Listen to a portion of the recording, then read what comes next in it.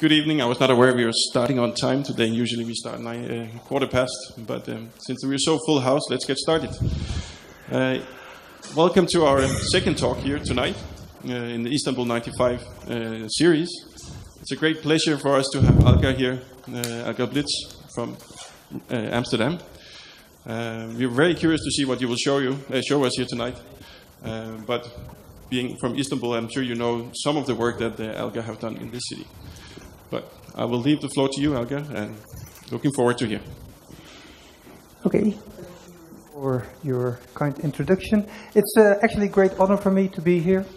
Um, first time ever that I'm simultaneously going to be translated by someone. Thank you. I've never had that before, only people repeating my words. Um, Istanbul, I'm from Amsterdam. Amsterdam is a village compared to Istanbul. That really intrigues me. Uh, I was thinking, what am I going to tell you actually? Uh, what can I bring for you? Uh, because I don't know anything about Istanbul or hardly. Uh, so I thought it would be good to actually tell you about what intrigues me, what I find important, um, and uh, hopefully uh, you like it. Uh, first, a small introduction because um, Carve is uh, the design studio I founded 20 years ago. Uh, but uh, Carve is not only me, Carve is a whole bunch of people, and without them, I'm nothing. That's how simple it is. Uh, these are not the actual people yet because I didn't have a newer picture, but gives you an idea. Um, but this is how we still like to see each other children playing around because designing is actually also a kind of play we play with the stuff that we have and we uh, shape that into a design.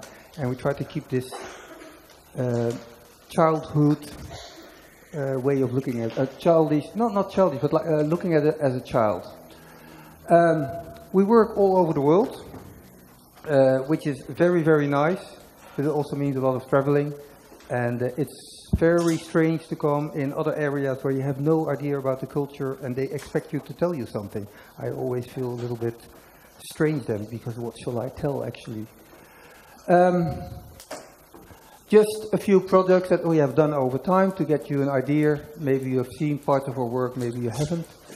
Um, uh, quickly, the one in the left corner is a museum area. The, the second one is in Singapore you will probably recognize the right lower end cor low corner, which is the Zorlu Center uh, here in Istanbul. Um, many different projects. So now we are going to the real subject. Uh, what does play mean? Uh, people have lots of uh, descriptions for play, but this is uh, how I look at it and what I have learned over time. Uh, first of all, play is the base of all culture. Now we're playing at this moment. You're listening. I'm telling. There's a kind of a role play. Um, this was uh, there is a famous book of Johan Huizinga, a Dutch historian, that wrote the book Homo Ludens. That's all about play.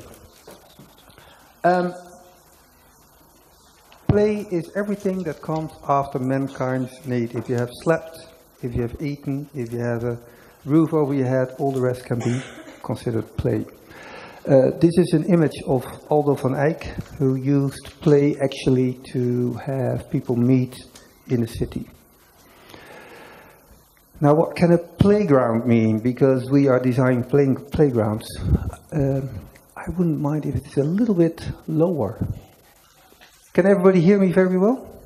Okay. Um, what can a playground mean? What can it contribute actually to a place? Um, well, first of all, it should evoke play. That's kind of obvious because otherwise it's not a playground. Um, then we should be able to give identity to a place because if I look at playgrounds, they're all the same. They're all the same houses. You're not saying I uh, I meet you at the playground there, but here you meet at the blue square. You know actually where you are. Sense of place. That is something that a playground can do for a neighborhood. Could it be sculpture? I don't know. Why should it actually be the equipment that we know? It should actually uh, give the option for a non-directive way of using. Um, or could it even cater for the unexpected? Something that we didn't design, But on this one hot day out of the year in the Netherlands, because usually it's very cold, uh, people just filled it up and it became something else. That is actually what I cannot design this. This is a surprise for me as well. And this is a very old project, and I still like it up to today, um, because this is what people do with the design that we, uh, the play design that we make. Um, a brief history. Um, because what we do, there's nothing new about what we do. Um, I found this picture of Kuro Kaneko. Uh, this is from 1935 in Japan. Uh, even for today's standard, this is a very, very exciting, uh, different playground. Uh, Noguchi, uh, famous artist, uh, actually he wanted to give um, um, oh, I'm a little bit fast. He wanted to give some sort of a social meaning to a sculpture, and that's how he got into designing playgrounds. And uh, we are still learning from that today.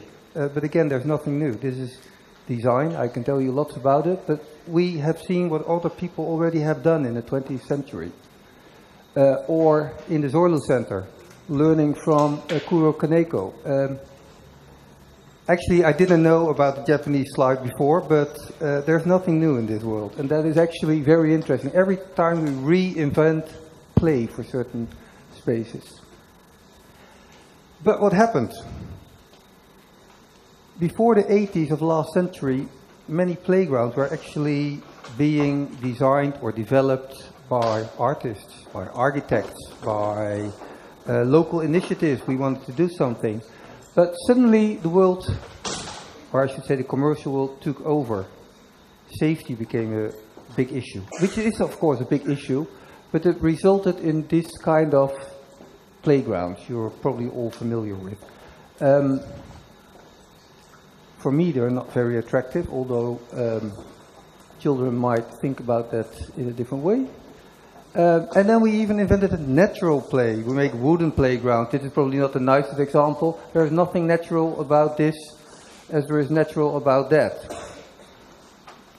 Um, it's the same house, actually.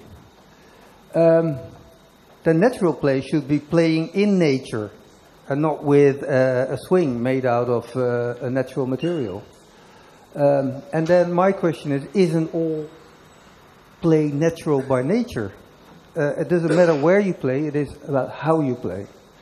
And that can be in a green environment, and this is a bad image, but it's, uh, sorry for that.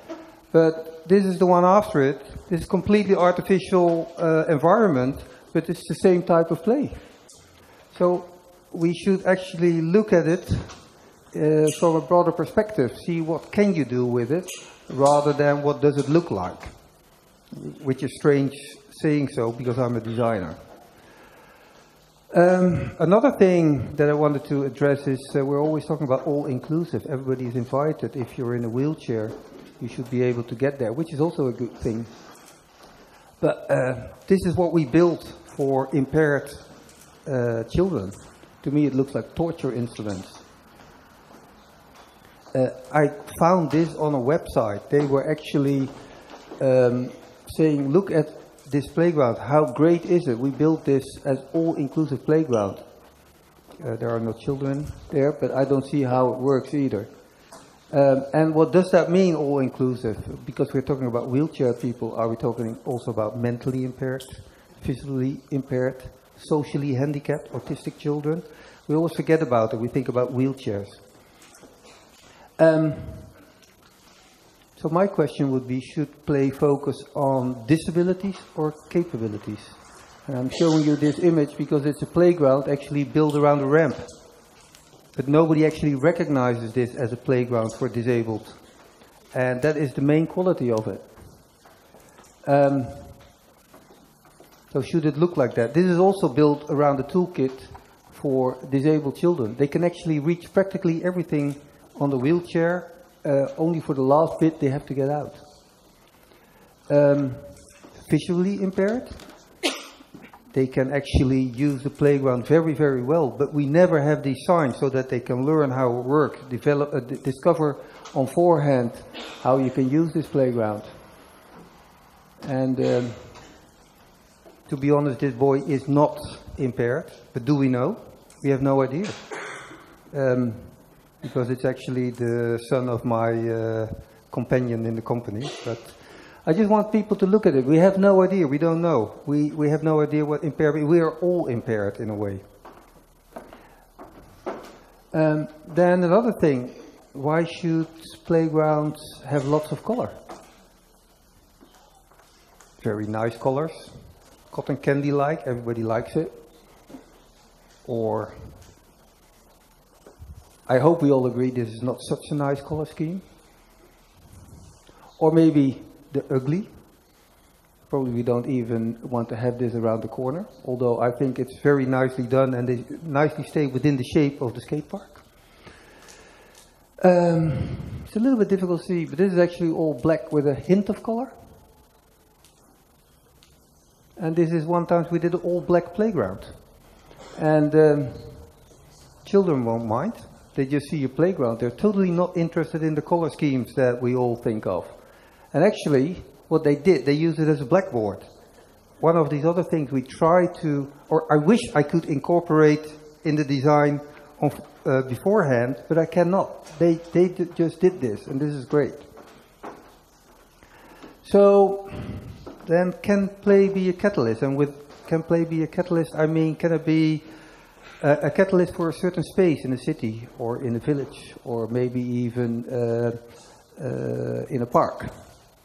And uh, I chose this image of a mine site in Belgium um, where they actually use this to attract tourists. It's a playground. The question is, can you build a playground? But it's meant to get tourists back into the area because the mine is closed. There need to be a little bit more commercial activity. Uh, and people look at it and ask, what is it for? I don't know, but can you play on it? Yes, certainly you can play on it. Take a look at it. Um, and uh, it's a very steep climb. Everybody wants to get up. I can tell you, if you're in front of it, you want to get up. Um, over here, there's also what we call a stairway to heaven. All grown-ups are using this playground if we say it's a playground, they are probably a little bit scared off. But if they look at it, they're all uh, they're all willing to try to see how they can get up. And I call it a monument for camaraderie because all people that used to work in the mine before, that don't see each other anymore, go there with their children and they talk to each other and they meet each other again. Um, well, I can go on like this, but it's. Uh, quite clear what we mean. Um, can history repeat itself? Um, let me further explain. In the beginning of the 19th, 20th century, there was this health uh, and uh, yeah, health movement, I should say. People should get outside, should exercise, should uh, be in the open air, the building should have uh, large windows, etc., etc. And in Amsterdam, in the layout of Amsterdam uh, from that time, that is uh, the beginning of the 20th century, they had the urban layout and they kept open spaces for playgrounds. And this is seriously in 1908. It was an open field with swings and seesaws. Um, that really became the place to be to go to with for all families with kids, but also for grandparents, for everyone. And they had an organization there, a playground association that uh, maintained the equipment, but there was also a social hub. Uh, people gathered there, people met there. Um, but then something happened. The city was taken over by cars. And in the meantime, I need to express that the organization of these playground uh, foundations collapsed. People didn't want to do that anymore. And 30 years later, we have solved the problem a little bit of the cars. They are nicely parked, but uh, still there uh, is. I, actually need to explain, sorry. Um, oh, sorry. This street here, there's hardly any cars there. Here you have more, and here actually the whole playground has disappeared because it's surrounded by cars. And the children that live here actually cannot really easily reach the playground anymore. And then the next step in Amsterdam, because this is in Amsterdam, was taking out the cars and put them under the ground. And now the buildings are again connected to this playground again. The, the, the, playground is actually here. It's all the same space we're talking about. And this is what it looks like today. It is an area that is completely renewed and used for play, sports, etc. But it's also a commercial space because there is a little coffee shop. And that is the new neighborhood. This is taken over from the Playground Foundation. So we've tried to find new ways to solve the same problem. That's actually what I want to express here. So, um, I've called this STEPS strategies to enhance play spaces in urban um, uh, areas. And what can we do? I recently have been working together with Urban Design uh, for the city of Amsterdam on a book called The Active City. And the Active City was all about strategies about how can we make the city more interesting. And actually, this is where I wanted to go with my previous story. Um, because we can think about nice playgrounds, we can think about nice sports facilities, but how can we actually use play and sports to keep the city active and interesting and attractive to live in?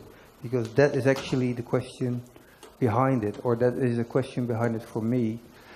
And um, there were many contributors to this book, and of course I contributed to the part of play. Um, and this is the new manifest for the city of Amsterdam. And I chose this to tell you uh, a little bit more about this because actually this is where I see the relation with Istanbul, except for probably the problems that Istanbul faces are much bigger than Amsterdam, not only from the size, but also from the importance of having a car. Because the active city is a city that is a healthy city, and this refers back to the playground movement in the 20th century again. And, and I've chosen two projects actually to tell my story. Uh, one, this project um, you saw in the previous picture is called the Van Beuningenplein, and that is the first one. And um, in short, this is the new active city how can we get cars out of the street? How can we make people move in buildings? How can we let children play? How can they reach their playground? How can we cycle to school? How can children cycle to school? How can we have small sports hub near your house? Lots of things um, are addressed in this book. And for me, sports and play, although sports is probably for a different age group, don't differ that much. You've got recreational sports, I used to be a skateboarder. Is that playing? Is that sport? I don't know. Um, first of all, and you've probably all seen this, um, and this is a little mistake in my presentation here. It's the importance of spatial justice. I'm not telling you anything new. And this is about how much hours per day should children actually have physical activity, adults and uh, older people, because that is really important. They need to do that to stay healthy. Uh, but where can they do that? These were the two main um, issues that we uh, discussed in the book from certain perspectives. And from my perspective, that was uh, play. Okay, cycling and walking, main activities. I know that Gregor is from Copenhagen, he will recognize this, although these are tourists on a bicycle but your green spaces are being used as activity spaces these days. Um, so people already do this. Uh, they invent things in the city to play and uh, have activities like parkour or free running. Um, what we are doing at the moment in Amsterdam is having sport facilities being opened up. Um, if you take a good look, there's no fence around it. This is just a public um, running track. So you need to have open facilities, not closed off facilities. Um, an example case of an active space. And I start with a park. And this is an old project, and uh, this is a project that has been very important for me uh, because it's a long time ago, and uh, it took quite a while to uh, achieve this. But actually, it already addresses the elements I've just discussed, open spaces. Um, here we go to design tools for, for sports, and it's about shared sports facilities and big sports facilities and open structures. Amsterdam, this is Amsterdam, is a city that is built like an onion. This is the old city. And we've got the first layout, then we've got the after Second World War layout, and this is mainly um, uh, after 2060. This circle is our periphery, and we are discussing this part here. This is a big green area within the periphery, one of the parts of the city that is prone to fall in, in the hands of developers for building, actually giving up this space um, to uh, for new buildings um, instead of keeping it green. And it's very important for all of us. You notice that I'm not specifically talking about play, but this is all about play as well. We play. Um, it's very important to keep these open spaces in your periphery, within uh, in, instead of building them. So you have to go outside in your car to go to a park, to go to a playground. Um, this is the area. Was an old sport complex for um, every anyone who is into soccer. This was the old former Ajax um, soccer stadium site. Um, and this is what it looked like. This was an abandoned area. People only used it to go from A to B and not after 10 o'clock because you didn't feel secure anymore. And our question actually was, can you build a playground here? If you build playground there, probably is becoming an attractive space. And then we started thinking and said, hmm, I don't know, uh, having a playground somewhere in the middle where people don't want to go, that's not making, that is not going to be an attractive uh, space. So what we did actually is, um, this is the whole sports facility. We discussed with the municipality to see if they were willing to take out all fences, make it public sports facilities, so that there was a new um, 24/7 activity going on in on this facility rather than going at four o'clock to your training for soccer. Um, and then they suddenly turned out plans of 10 years ago that they had discussed that. And they said, maybe we should do this. So what we did is we took out, first we took out all fencing of this area. And then we developed only this part and we said all the areas in between the sports facilities is actually already park. You can run around freely, there's no cars. You can make use of it the way you want. You can use the soccer uh, or the sport court facilities. And even the organizations that were already there benefited from it because suddenly there was much more activity going on. Um, then the only thing we actually did physically is building this playground. This is a strip in the middle, and our only intervention was this part and the strip here, making it green again and making a large playground. And this is what it looks like today. Um, this has a park-like character. Everywhere is explained how the how it works, that you can make use of everything. So we actually turned it into the largest playground that you can think of. Um, the center section. Uh, families like to go somewhere and bring their lunch and, and play. Uh, of course, there is the, the playground. Interesting to mention is that is, this is actually a part of the water system of Amsterdam that we turned into a water playground. Um, uh, so from here you can actually go to the sports facility and, and go back again. Um, this needs no further explanation. Um, what we find important, important in playgrounds, and this is the hub of this particular area, is blending functions. Um, because we don't believe in making playgrounds that are separated parts, 2 to 4, 4 to 6, 6 to 8, 8 to 12. Uh, can you tell if someone of 5 years old has the motor skills to run up that hill? And uh, does that also mean that another one of 5 year old has the same motor skills? Playing is about discover, uh, to, to, to uh, discover what you are capable of rather than saying this is for you, you cannot do that. Um, then we put in, and this is another thing uh, for playground, we put in something very specific that is actually not for children for playing. It's a professional boulder climbing wall. Uh, we had a reason for doing that because it brings in a certain group of people to this area that, if you remember, I said it was an abandoned area. Now we bring in a dedicated group of professional climbers that are going to use this. And um, here they're using it, but please take a look at this. This little boy here is playing and is actually seeing what these grown-ups are doing there, and he's going to ask, "What are you doing there? Can you teach me?" etc. So we are actually creating a sort of a community on this playground, uh, where this particular boulder wall wasn't meant for children. Um, um, and we learned that actually by mixing these things, you get the most interesting spaces for playing.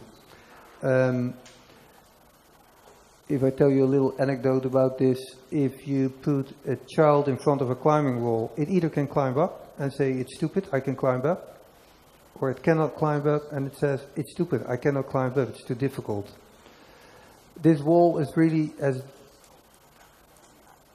tens of different routes on it, but they just see how it's being used by the professional boulderers. They ask, they teach them, then they try to do it themselves. Uh, and this has become a very, very lively part of this uh, sports facility only because we put a playground in the middle. And again, I'm not emphasizing on the playground itself, but that has all the elements you can expect in the playground as well.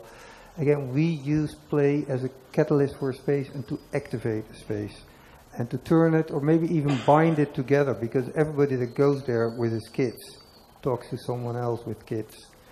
Uh, and that is probably uh, more important than anything else. Then the Van Beuningenplein, that was another part that is being addressed in the book. Um, again, places without borders and a small square in uh, a pre-war layout. That means uh, houses for, uh, I cannot really say, but let's say the working class. They had new social housing there. They had this playground there. And uh, all these areas in Amsterdam uh, gentrify rapidly. Um, and are being refurbished, renewed, uh, including the playground. But what shall you do on the playground? Because if you participate, are we going to have a ball court? Are we going to have a playground? Are we going to have a slide? Are we going to have a skate park? Are we going to have a splash pad with water? It's only a small square and it should cater for the whole neighborhood. And we always think of elements that we should incorporate in the playground where we think there are better strategies. Um, just quickly, uh, this, this is the square. This was the old playground. We have seen it before. It developed in the 80s into a sort of a abandoned place. Actually, here was the, the, the, the basketball court. Here was the sandpit. Here was the clubhouse. Um, and then we tried to think of a plan, and I didn't do this on my own. I did this together with, uh, for the building, concrete architects, and for the uh, landscaping from Dijk landscape architects. we took out the streets. Uh, so all houses around it are connected to the square again. That is already very important. So you can move because it's very important for children that they can go somewhere safe. They shouldn't be brought there by a car. They should just run out their house and go to the playground. That is very important. You don't see that anymore. When I came to Istanbul today, I was uh, sitting in the taxi, uh, not a taxi, a car, and I see the new coastal development and there's plenty of playgrounds there. But as, when you are a child, you cannot reach those playgrounds. Your parents have to bring you there, and then you can play for an hour, and then we all go to the restaurant or somewhere else. Importance of play in a city is places that are dedicated for play, where everybody is welcome, and that you can reach when you're six year olds. That your parents still believe that you uh, can go there on your own and feel safe, not being hit by a car. Um, and why shouldn't we combine sports and play? Why should a playground, and this is uh, part of that strategy,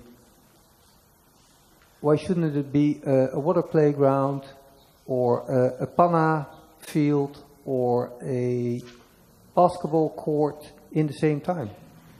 because we only have this small square and we didn't want to make choices. And of course, this is not the best basketball court that you can think of or the best water playground that you can think of, but it has it all on this very small space. Um, again, as said about the sports facilities, borderless spaces. This is the playground, but you can sit there and it has a tree there. What I mean is, it's, it's you want to? Yeah, sure.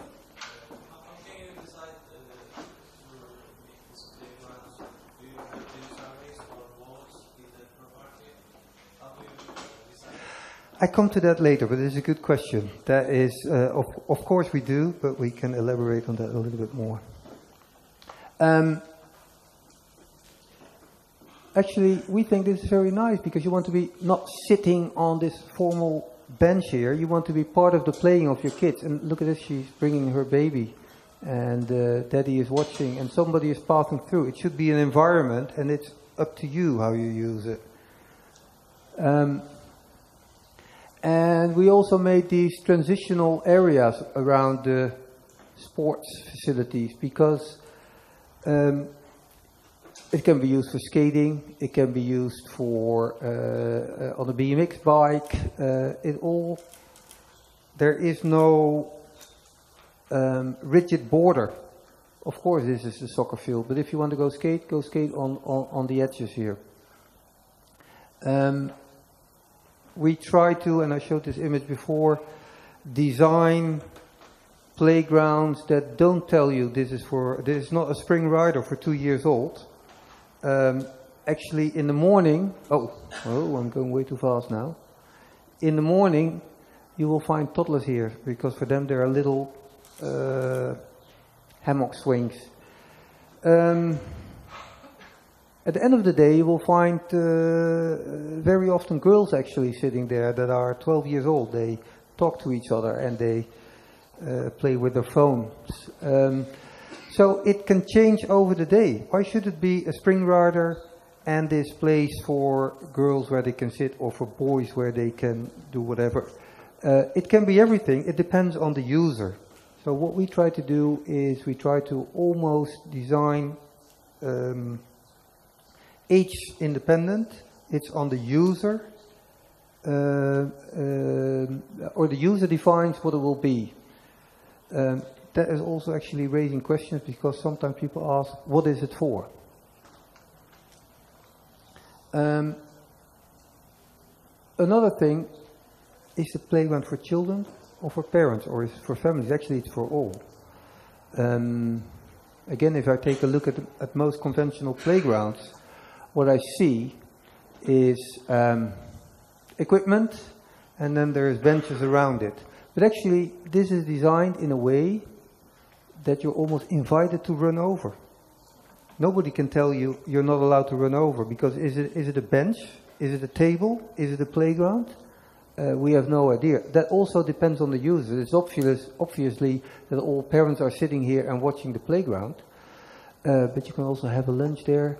Uh, you see what happens. Children are uh, climbing the trees, and we purposely try to design in a way that it doesn't look like a playground. Because if it does, you can play there, and you're not allowed to use the other part anymore because that is meant for for uh, as a, for sitting, or that is meant for uh, playing basketball.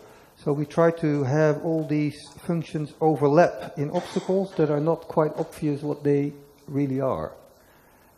Um,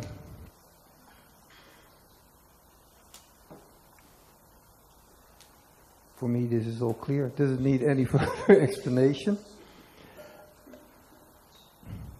And again, is it for skating? Is it to sit? You'll have to find out. And the whole deer, uh, deer is uh, about it having a playground for all ages, and then I mean 2 to 88. Somebody then asked me, should you put up a sign? Uh, are you not allowed when you're 89? No, everybody is invited. It's 24 7. It's on the user groups how they use it, how they make use of it. And honestly, Monday morning, 10 o'clock, would you expect many skateboarders or BMXers coming in? No, they're on school toddlers go there with the parents with buggies. And uh, believe me, uh, oh, I'm using the wrong button. They also used it on the on the little trikes. They also uh, go around it. It's not, but you also know that someone on the skateboard will use it differently. Um, I guess this guy just did some shopping and has started now and is looking how people actively behave on this square and how they do that.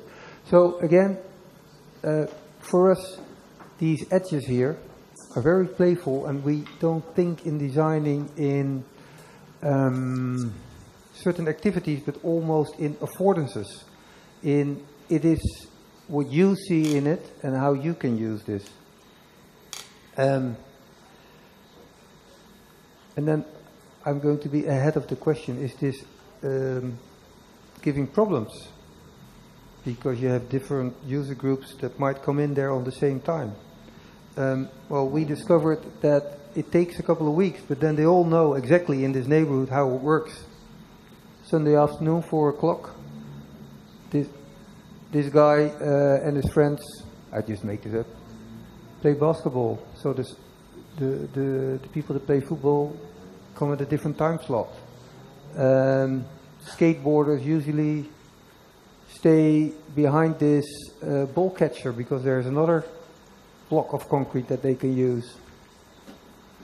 Um, again, nobody that is playing basketball bothers about this child that is uh, uh, having fun with this water jet. And uh, the whole neighborhood can use it for other activities as well. Why should it be all filled in and squared off and be exact? Um, although this is a little bit of a cheat because this was at the opening. It was only to explain that you can use these spaces for much more.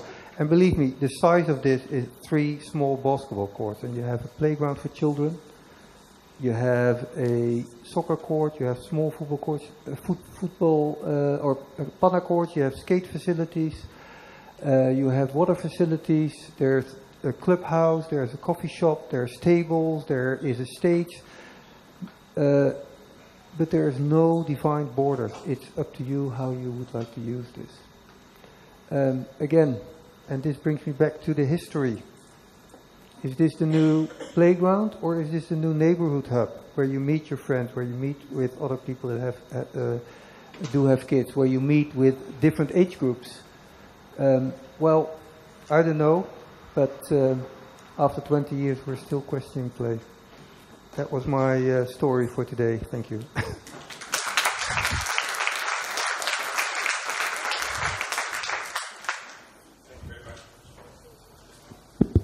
Thank you very much, Elger. That was amazing. Uh, I think before we open to the to the room, I'm sure there will be plenty of questions, and I'm getting a noise from there. Um, I have one question. Um, um, how do you get to there? Let's say we talked before the lecture starts. Um, do you do workshops with the neighborhoods? or have you gained so much experience over now that you, let's say, have a menu of things, or because we, of course, uh, part of this is also to engage our community. I wish it was that easy, because it's always it's always a different story. Um, and now I have the uh, had the time to think uh, it uh, think about it a little bit more. For this particular um, area, it uh, there were many workshops, including workshops with disabled, because you can reach all soccer courts again with your wheelchair. Um, the thing here is that in this area of Amsterdam, people loved it to have their cars being parked on the ground although of course there was a group of people that didn't want to have a uh, building place in front of their house uh, for two years. Uh, but everybody saw that it was needed uh, in the renewal of this area to have a new playground, and everybody was cooperating. We had all kinds of user groups. We had um, images of playing, not of play equipment, but of play activities that they could sticker what they would like or what they wouldn't like. But most important, and I cannot stress this enough, most important is that you cannot be better than your commissioner, in this case the municipality, that really wanted to believe that this could be done. Because I can tell a nice story and say this is this is how we should do it, and then people start laughing and they buy some equipment somewhere else. So you're never better than the group, you're never better than the municipality and the commissioning party, and you, uh, in this particular case, uh, there was also, besides the participation part, a collaboration between architects, landscape architects, and I call myself then the playground designer, that were really willing to mingle everything. The, the, the, the playground elements are suspended actually from the trellises. Um, there is a part of the playground on one of the rooftops. There is this coffee shop that um, have benches of front or, or, tables in front of it that are public, so they cannot dominate the space. So everyone was working together in this particular situation. Why am I saying this? Because currently I'm working on another project in Amsterdam that looks like this, and everybody is against the parking garage underground and then nothing happens. You can participate what you want, and nothing happens so far. Hopefully, we, we are able to, to get there somehow. So I'm only saying participation is also about willingness. It is about thinking for other groups. If you are, uh, you're not a parent, but you want, you still should think uh, that is a public space where children play let's see what I can contribute to that to say, wouldn't it be nice if children could do this and that, rather than only defending your own area and saying, not in my backyard. So again, there is no tactic, there is no strategy, it's about people. Questions from the audience? We have some mics that will travel around. Thank you very much for this very inspiring uh, presentation. Maybe I can take over from uh, Gregor's. My question was also about how do you approach the locality? I mean, I'm sure even in Amsterdam, from neighborhood to neighborhood, the cultural background and the demographics are so various that each approach, as you said, is a different story. So, um, how, how about this incorporation of this locality into it? Like, because you also have lots of international uh, experience abroad. So we, we, we, our major issue in, in the context of Istanbul is the same. So the stratification of cultural differences and then the approach to the, uh, to the public space as a play uh, place can vary as in the case of Zorlu and then in the suburban uh, regions of Istanbul. So how would you approach to this locality issue? Because it's a very subtle and very complicated, complex issue. Uh, I know there are no very right answers to that, as you mentioned, but maybe you can give a couple of hints to the new designers and to the design educa- uh, educators. Thank you. Well, I, I, started with telling that we are all um, experienced because we all have been kids. That is so. That is really important. Start thinking about what you like as a kid. That, that I always tell that because otherwise we start thinking about images of what play, playgrounds should look like. So that is probably my first story that I would tell.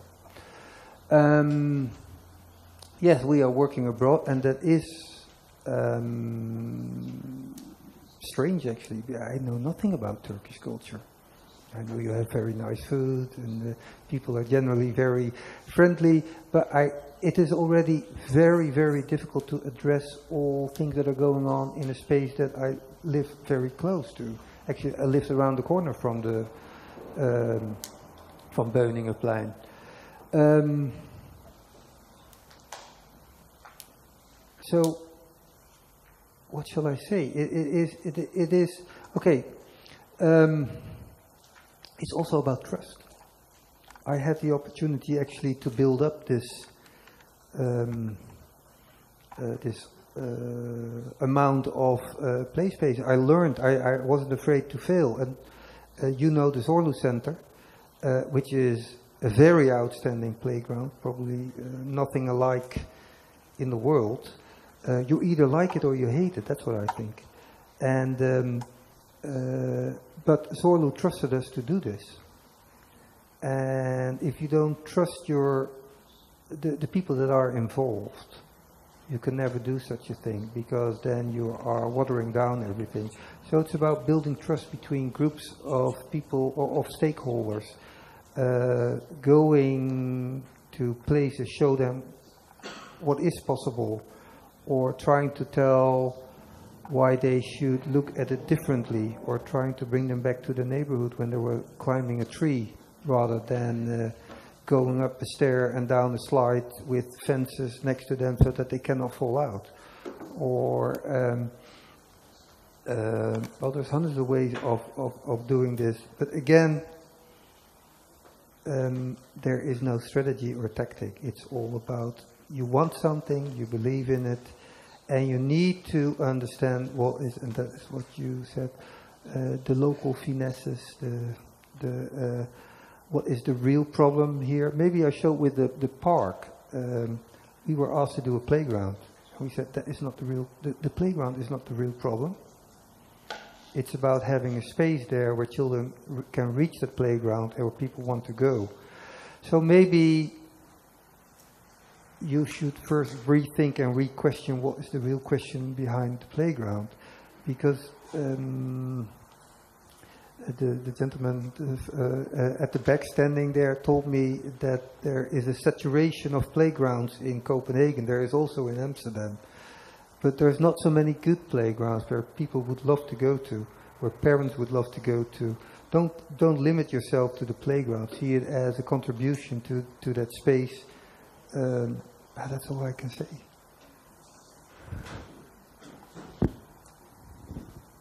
What's next? Of course, we also take questions in Turkish, and I think we can have them translated to Alga, so please feel free.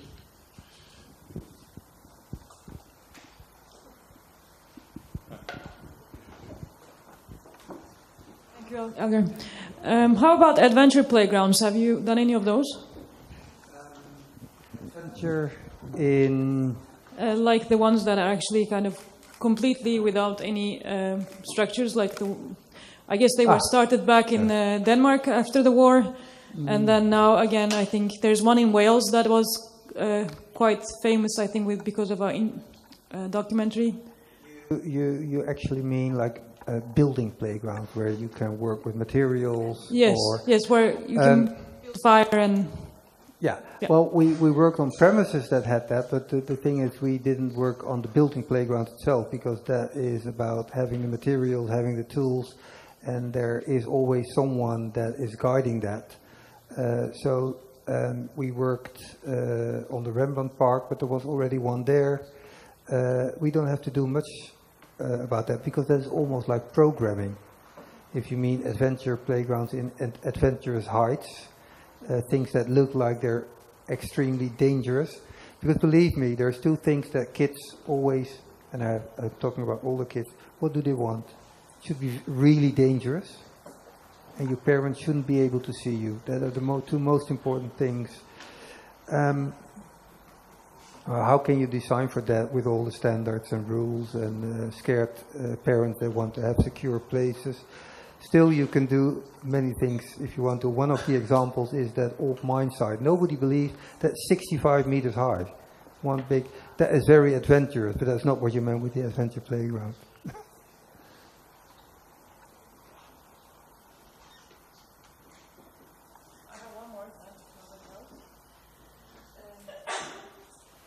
Then, if we go back to the issue of the standards, I know this is kind of a boring question, but how do you actually deal with new products and getting them approved? Do, do they go through testing, or how do you actually get them manufactured? Because this was one of the problems that we had as designers. We we thought we designed something very cool, but then we couldn't really get it uh, manufactured because none of the playground producers wanted to deal with it, and then the and we didn't want to take the risk of working with a kind of a non-playground producer. So I've got, I've got one sitting there that maybe can give you the answer why they didn't want to produce it. No, there, there's it's actually two different questions.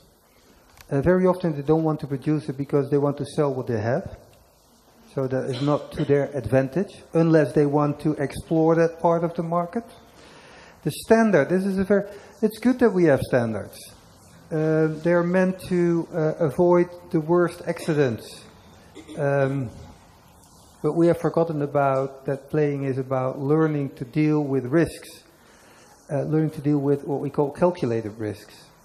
And uh, uh, how are we dealing with this? I happen to be in the German board in the beginning of the 90s, and um, uh, the German safety board, the, the Deutsche Industrienorm uh, or standard, um, and I learned that it is not by far as strict as the people that are handling the standards. That is the problem. The people that are making the standards try to keep an open end because you cannot make a standard for something that is not there yet. Um, another thing, uh, actually, um, I took it as serious homework to study the standards, to know more about the standards in the background than the people that are actually what we call the security uh, police that is checking the standard. They read, it should not be more than this and that and that. Not approved. Where we say it's about, um, not about following the standard, it's about understanding where that measurement is coming from. I'll give you an example. If you can stick your head in and it gets stuck, and it's only 60 centimeters above the floor, you cannot uh, choke yourself because you can always stand on the floor, even a child. But the, the engineer that is checking that is only measuring and saying, hey, it's uh, 20 centimeters, it's not okay, not approved. So you really need to know more about it than they do. And then there is something what we call safety in a different way. But again, you need to have this build up knowledge because otherwise you cannot get this across. Uh, safety in another way is uh, we always use the Dutch example um, uh, where if you go to certain countries and there's a, a, pond or a lake, there's always a fence around it because otherwise children might drown. Uh, uh, another way is uh, we have almost obligatory swimming lessons from four years old on in the Netherlands, so all children can swim. That's another way of dealing with the issue where again the standard is not telling you how you should deal with it. It says if you do it like this, it's okay, but it doesn't say that you cannot do it in a different way. You only need to have this specialist safety inspector following you and approving it. And there you need a lot of, uh, as I said, build up knowledge to get that approved. Again, I give you the example of the mine uh, hill, 65 meters high basically you can roll down all the way from, from the hill and still we could get that improved, uh, uh, approved. Uh, took us quite a while, but we, we, we managed. So uh, uh, do your homework and, and, and outsmart.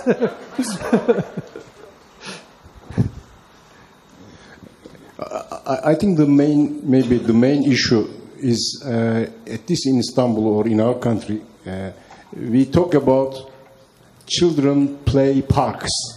I don't know how I can translate it to English better.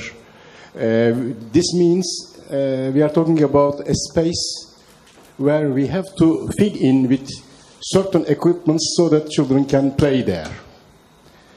When the focus is this, I mean, when the approach is like this, then you start thinking of, well, what can I put in this park to uh, make children, satisfy children for physical play, for social play, or for this or that type of uh, play. And then it comes up to, you know, designing, you know, very uh, complex uh, or, I mean, very artificial uh, units.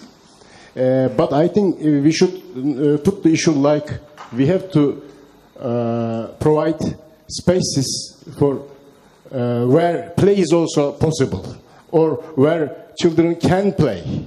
I mean, not uh, parks for children to play, but open spaces, open areas where play is also possible. Uh, but yeah, uh, it's, it's nice to hear that you agree. Uh, but but I, I think this is an important issue uh, for us uh, to rethink this It is, issue. it is all us designers that should advocate this, isn't it? Also the case? And not follow what we think is a playground. We try to spread that and say it can be done better.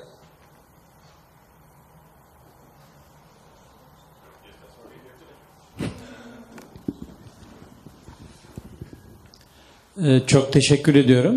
Murat Ermeydan, Peyzaj. Can you, uh, after uh, you have finished your question, can you then translate it for me? No? Oh, okay. Then try to understand. Okay. Okey. Çok teşekkür ediyorum. Çok keyifli bir sunumdu. Peyzaj Mimarlar Odası olarak katılıyoruz. Yaptıkları projelerde, tasarımlarda geri bildirimi nasıl alıyor? Takip ediyor anladığım kadarıyla sunumda projelerini. Geri bildirimleri e, nasıl projeye, yeni projelere nasıl aktarıyor?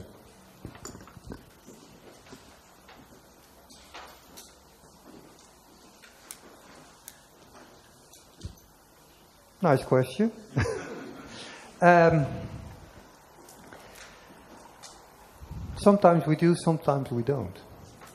If we do a project, um, uh, let's say here in Istanbul, in Zorlu, we don't get much information about it, and I'm not here every day to see what happened, how it has changed, etc. Um, in Amsterdam, on my bicycle, I very often pass through uh, the projects that we have done, or people even call us say, "Hey, uh, have you noticed that this and that and so and so?"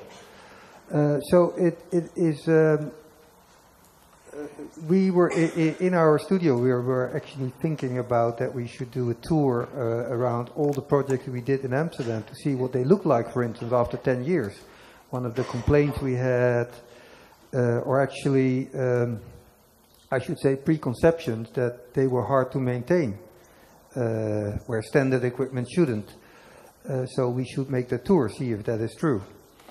Um, uh, but there is no not not a set way that we follow up. Very often it depends on either the, the client or people that make use of it, what they tell us, and if we think that we need to go somewhere, and then we, of course, incorporate that experience in, in, in new projects. From the user perspective, I give you the example of the Van Beuningenplein. Um, that works really well, but we seldomly hear, hear from the project that don't work really well because people don't call us. They have no idea. So there's also a very strange thing it's like uh, the benches in a park. If nobody sits there, they stay good forever, and everybody thinks this is a good bench. That's a little bit of the, pro- problem. We do get information when uh, people think that um, certain places need a lot of maintenance. And very often that we, we, we do go there and have a look and then we discover that it's being used so frequently. If you use something very often, it also deteriorates, it's wear and tear. So we get bits and pieces of information in, uh, learning by doing, experiencing over the years, but it's not like a, a, a fast way of dealing with it. We always go check after one year, after three years, after five years. It totally depends.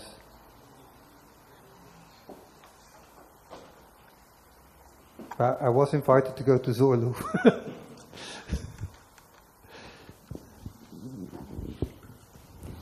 Herkese selamlar.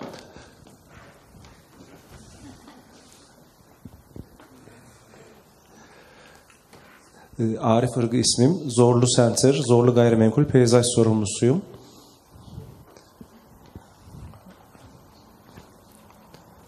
Ee, Elgar Bey, e, hoş geldiniz öncelikle İstanbul'a, Türkiye'ye. Ee, Geri bildirim anlamında ve 5 dakikanızı alarak e, Zorlu Center'daki çocuk oyun alanının, oyun grubunun e, imalat süreci hakkında birkaç e, bildirimde bulunmak isterim sizlere.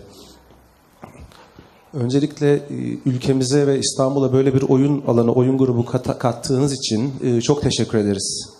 E, Hakikaten dünya çapında insanlar, dünya çapında mimarlar, peyzaj mimarları, firmalar e, alanımızı ziyaret ederek hayranlıkla e, izliyorlar, geziyorlar ve e, teşekkürlerini sunuyorlar. Hem ülkemize hem böyle bir oyun alanı kattığımız için ben de onların babında size tekrar teşekkürlerimizi sunuyorum.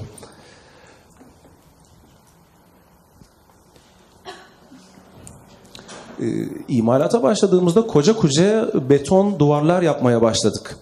E, tabii projeleri var, detayları var. Biz bunları okuyabiliyoruz, görebiliyoruz. Ka- sonuçta ne çıkacağını görüyoruz ancak kalıpları çakan arkadaşlar, betonları döken arkadaşlar biz buraya bir gece kondu mu yapmaya başladık acaba? Yeni bir bina mı dikeceğiz diye yorumlamaya başladılar. Tabii imalat bittiğinde, imalat bittiğinde çok daha farklı bir şey çıktı ortaya. Hepiniz biliyorsunuz, hepiniz gördünüz. O duvarların arasında gezinen, koşturan, saklambaç oynayan, bir yerlere ulaşan çocuklar, e, kulelere tırmanmalar, e, yani çok ciddi bir eğlenceli alan oluştu. E, müthiş bir tasarımdı, müthiş bir deneyimdi ve özellikle şunu da söylemek istiyorum. Kulelerin imalatında imalatı yapan arkadaşlar 30-40 yaşında işçi arkadaşlardan bahsediyorum. O metal kaydıraktan kayarak imalatın sonunda zemine inmeleri öğlen yemeği ya da akşam mesai bitiminde onlar için inanılmaz bir tecrübeydi, inanılmaz bir e, deneyimdi.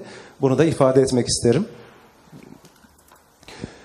Şimdi oyun alanının şu anki durumuna gelecek olursak da e, bir kullanım haricinde her şey yerli yerinde duruyor.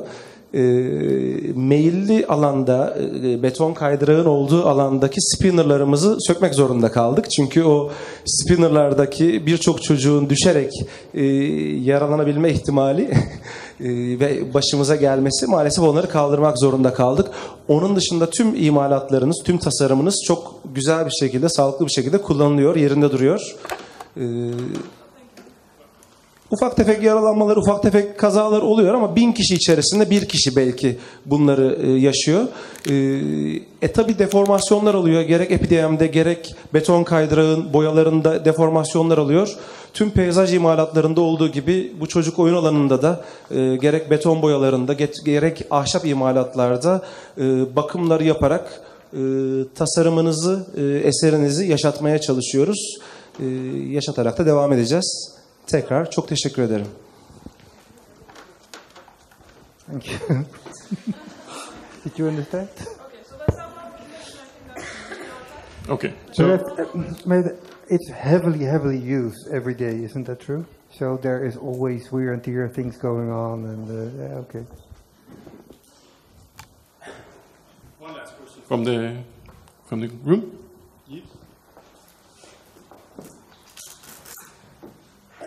Uh, you talked about your clients actually as municipalities or like shopping malls and so on, but the, end user is the, the children, and you don't really get to talk to your client most of the time, probably during the you know business time.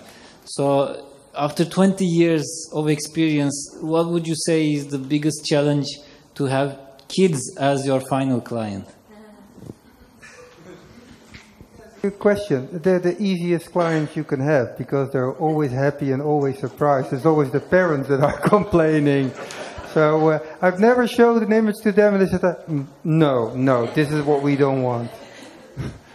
so uh, I think they, they, they all talk about it and all like it. And uh, uh, yeah, they are my best clients. Okay. And thank you very much so for much. coming. Thank you for having me.